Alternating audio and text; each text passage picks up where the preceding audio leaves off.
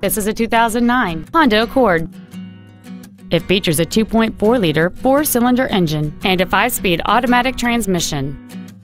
Its top features include a sunroof, cruise control, heated side view mirrors, a premium audio system, a double wishbone independent front suspension, an electronic throttle, stylish 17-inch alloy wheels, a low tire pressure indicator, a rear window defroster, and this vehicle has fewer than 19,000 miles on the odometer.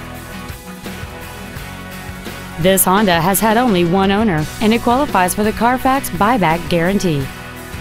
Call or visit us right now and arrange your test drive today.